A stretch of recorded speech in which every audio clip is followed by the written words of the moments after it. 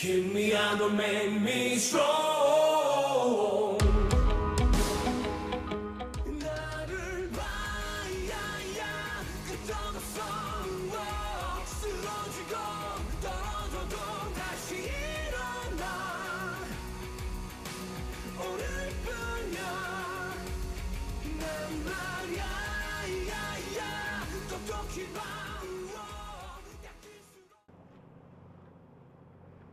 조업을 마친 배가 한림항의 모습을 드러냅니다.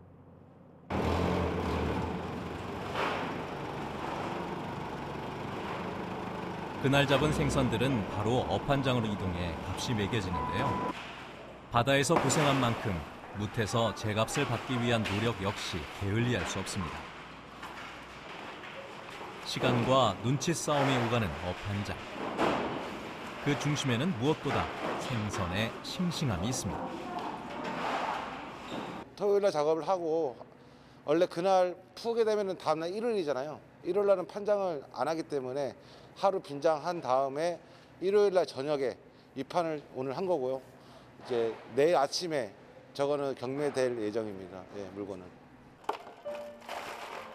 상자에 얼음과 삼치를 일일이 균형 있게 넣어 보관하는데요. 이처럼 주말에는 더 품을 들여 생선의 상태를 유지해야 합니다. 나가면은 어쨌든 간에 고생한 만큼 보람은 있습니다. 이게 뭐 바다 나간다 그래서 맨날 뭐 만선하거나 뭐 큰 돈에 대한 값어치만큼 고- 고기를 잡아오는 건 아닌데 이제 한 번씩 이제 바다에서 큰 어획량을 이제 저희가 이제 잡아서 들어오는 날, 날이 있거든요. 이제 그런 날 때문에 꾸준하게 이제 바다를 나가는 겁니다.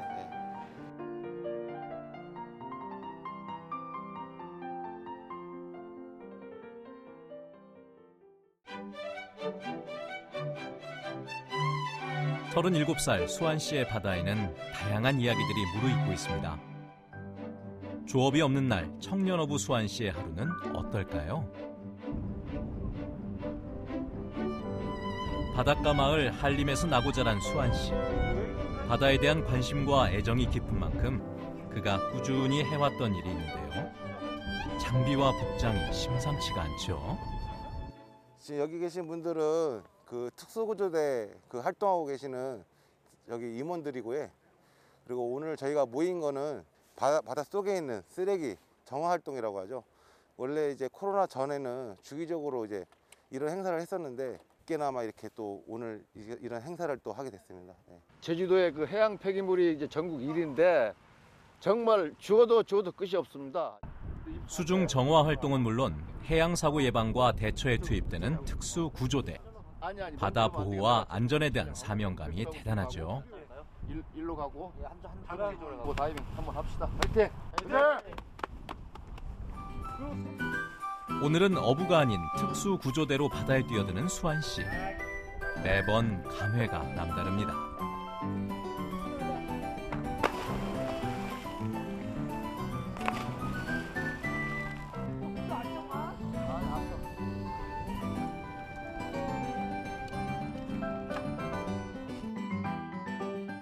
신비로운 비취색으로 빛나는 제주의 바다.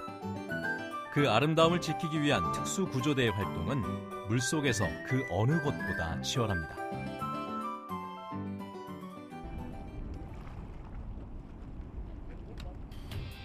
반갑지 않은 반전이 마주하는 바닷속. 상상도 못할 양의 각종 쓰레기들 때문인데요. 조업이 바쁜 와중에도 어부 수환 씨가 특수 구조대 활동을 놓지 못하는 이유는 이같이 투기되고 방치되는 수중 쓰레기들의 심각성을 잘 알고 있기 때문이죠. 쌓여가는 수중 쓰레기들로 인한 해양 오염의 피해는 결국 고스란히 우리들에게 돌아올 것이란 걱정이 클 수밖에 없습니다.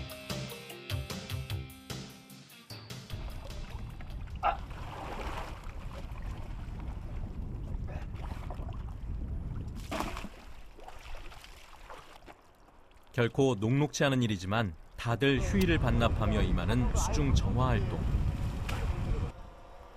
오늘 수고한 많은 양의 쓰레기를 보면서 보람을 느끼는 동시에 안타까운 마음 역시 가시질 않습니다.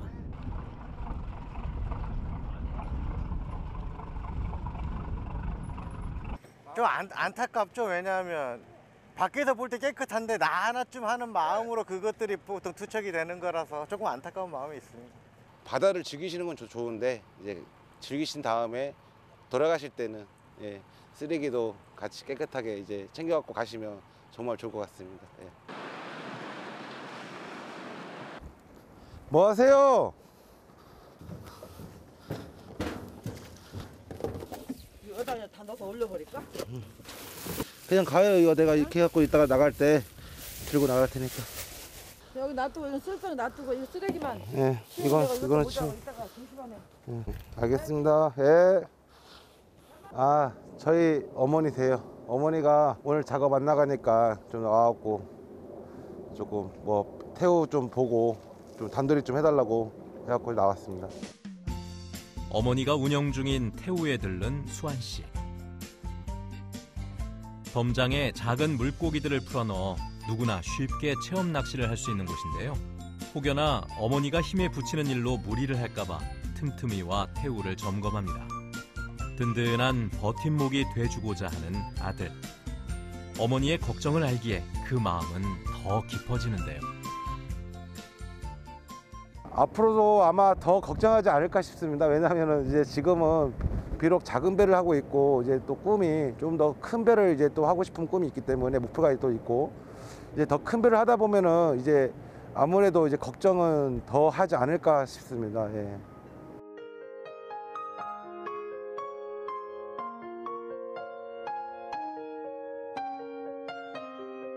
고된 바다 일 대신 좀 더 편한 일을 하길 바랐지만 결국 어부의 길을 택한 아들. 염려를 믿음으로 바꾼 아들이 이제는 그저 대견하고 고맙기만 합니다. 글쎄 고생이 뻔할 것 같아서 처음에 좀 말리기도 했어요. 바다에 사는 게 쉬운 게 아니거든. 그리고 아빠도 늘 그런 어업 쪽에 계시고 하니까 나는 그게 참 좋지 않고 싫더라고요. 그래서 직장도 없으면 장가 못 갈까 봐 노심초사해서 장가를 가면은 그만둬라 그랬지 내가. 직장이 없으면 안 되니까. 그랬더니 결국은 장가 가고 사고 배 사고 그만두고 해준 거지 바다에 나가면 늘 걱정이지. 배가 나갔다고 하면 항상 그걸 보고 있지 아빠는 어디에 있나 애가 어디에 있나 뭐 그래도 열심히 하는 게 참 고맙고 어, 자기 가정이 생기니까 더 열심히 하고 어, 그 전에 운동만 했거든요. 운동만 해가지고 아무것도 막 모를 줄 알았는데 막상 이렇게 자기가 일을 이렇게 하니까 잘하고 바다에서 하는 일이 힘들지만은 자기가 보람을 느끼고 하면 되고 그 끝까지 어, 가정 잘 다스리고 제가 하고 싶은 일 해서 성공했으면 좋겠어요. 많은 우여곡절 끝에 어부로 정착해 살아가는 수환 씨. 앞으로의 바람은 무엇일까요? 어부로서의 책임감이라고 이렇게 얘기하면 어깨가 무겁게만 느껴질 수는 있지만 이제 제가 언제까지 이제 바다에서 종사하고 바다와 함께 할지 모르겠지만 하는 동안에만큼은 큰 부상 없이 사고 없이 예, 바다와 함께 할 수 있으면 좋을 것 같습니다. 예. 청춘의 에너지와 다부진 철학으로 힘찬 어부의 내일을 만들어갑니다. 꿈 많은 청년 어부 김수환 씨. 그의 패기와 열정을 항상 응원하겠습니다.